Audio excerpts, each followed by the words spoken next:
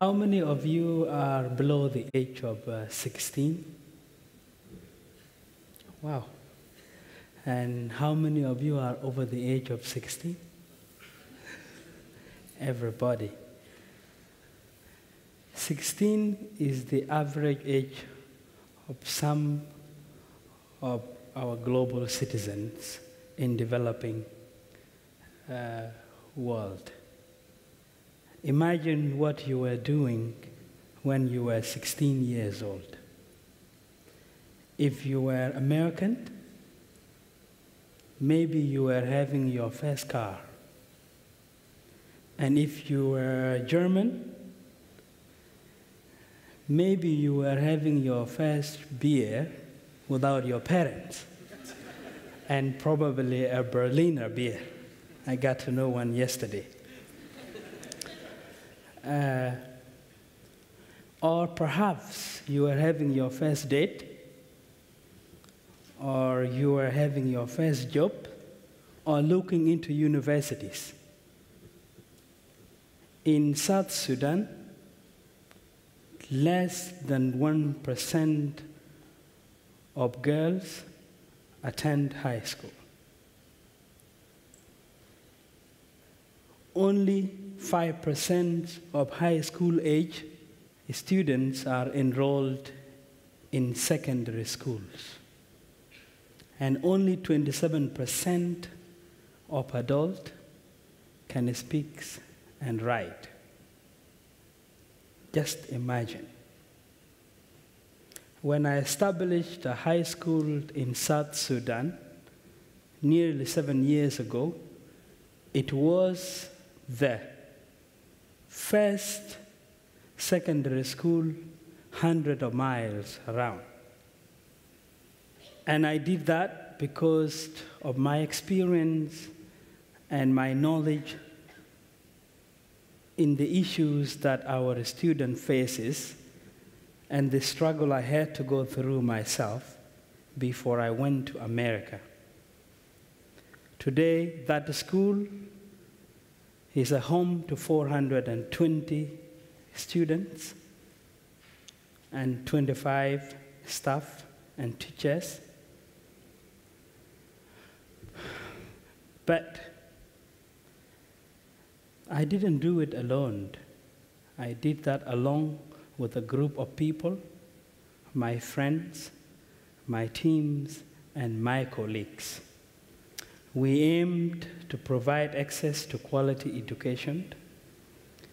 We aimed to provide opportunities to people who can invest in infrastructure development, which is a key catalyst to uh, doing many other things in developing world.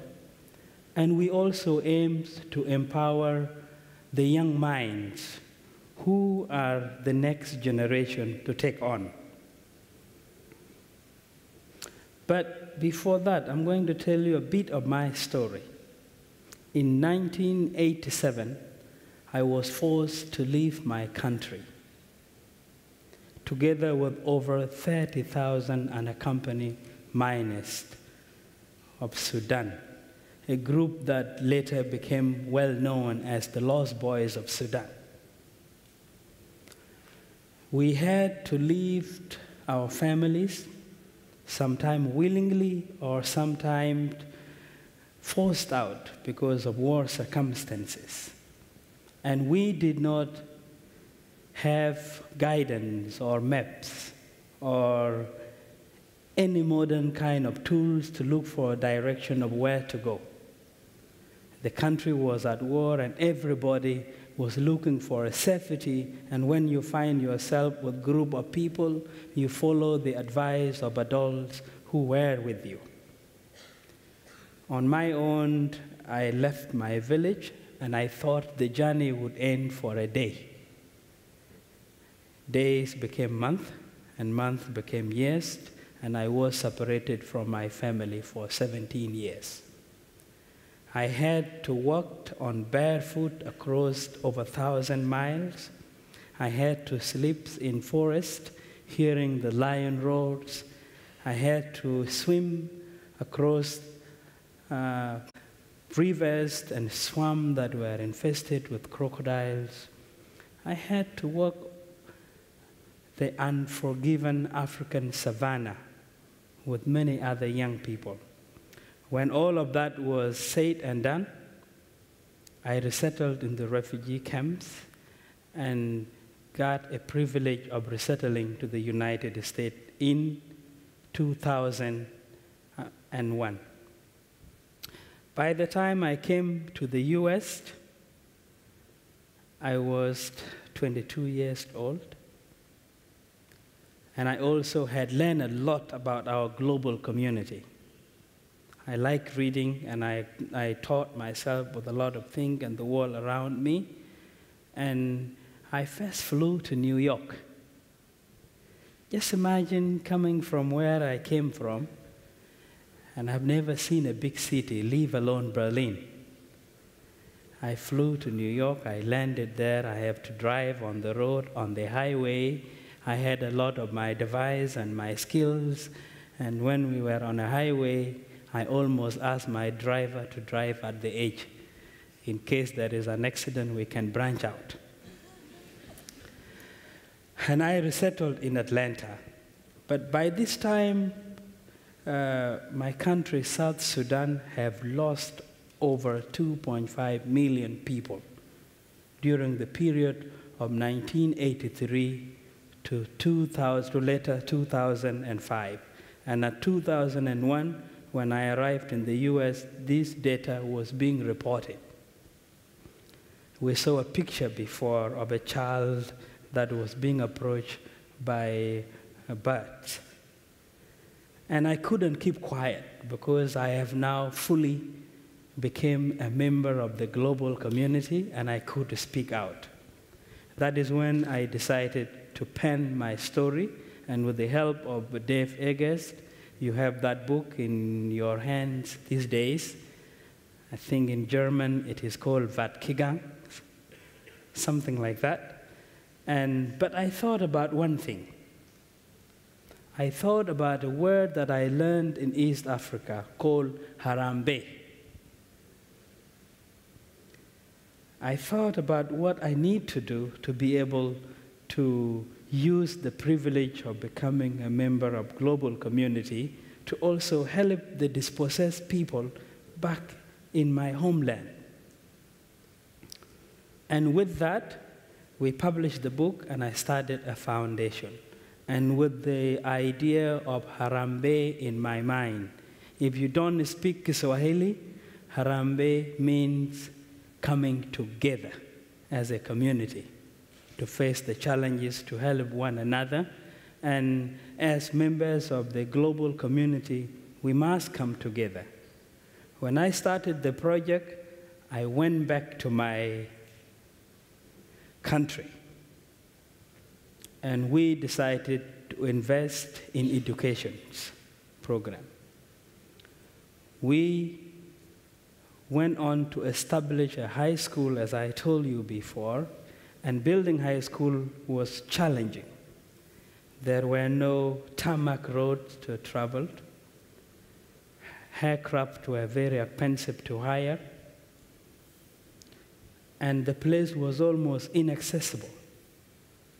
So what we did is we set up our school, and I decided that I was going to educate our children to become contribution, contributing members of our global community. So when we enrolled our students, we not only educate them about classrooms matters and curriculums, we also train them to become uh, leaders of their own communities. As you can see here, our students in chemistry learned how to manufacture soap. They learned how to manufacture jellies and they learn how to manufacture shocks for their local community. These are things we can hardly import, especially given that the country is now uh, facing another political turmoil. But our, our school community is able to serve a larger community around. that is part of the signed work and science experiment that our students are involved in. You can see some of the student leaders conduct debates and discuss community development issues and social action teams, how they, as students in high school, go out to help some of their own. We also have agriculture programs for our students, and with that, we use their produce from their school farms to supplement their nutritionals and uh, also help members of the community that are vulnerable. Uh, you can see that we have sport programs. In fact, uh, this year the entire school was supporting the German teams. Uh, and one of the main reasons was that Tom Tykwer was one of the people who came to the school site. Everyone watch his movie, The Perfume, and all of that, and they feel they, are, they have connection with Germans. that is the team you see there. Uh, you see some of our girls uh, discussing issues to do with gender inequality in the community, issues to do with teaching young mothers in the community to know how to give prescriptions.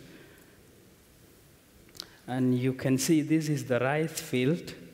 The students are involved in agriculture program and they have, we have a rice farm that we go to to help others. These are members of the Girl Guides and Scouts.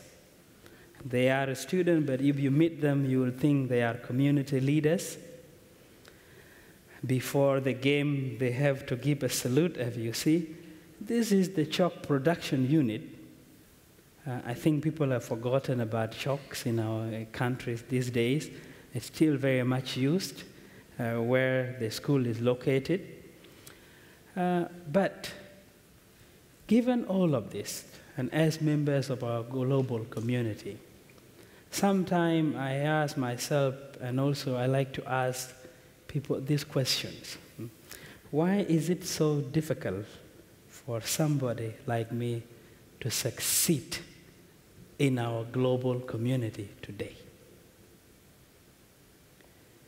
Why, what environment are we creating for those who do not succeed? And why, as the world becomes so global, so small, are some of our global citizens allowed to behave in their own national ways? You see, I like to cut this short. No culture has it all figured out. We all are members of one entity and that is humanity. And for the global, for the globalization to meet its goals, we all should work hands in hands with one, in, with one another because we are realizing that every day and every given week we have so much in common than we at some time think. If you look at this, let me go on. Uh, what we have done in our small way was just establishing a high school, but we have realized that this high school is also the village. It is the community, it is the country, and it is the way we are going to raise young people who would have the capacity to help our global community meet its goal.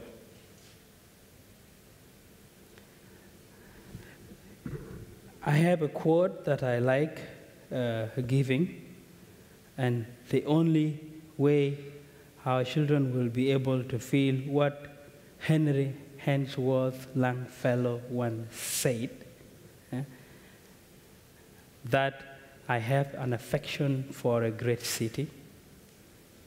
I feel safe in the neighborhood of man, and I enjoy the sweet security of the streets is walking together hands in hands, whether in Berlin or in New York or in Los Angeles, in, in Lagos, in Nairobi, wherever there is that globalization, global connection we need is to work together to realize the global community that is a safe home for everyone.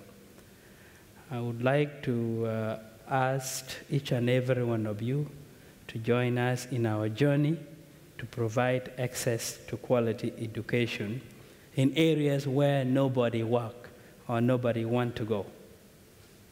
Uh, I will appreciate the time you've given to listen to me, and that is the little story I want to share with you.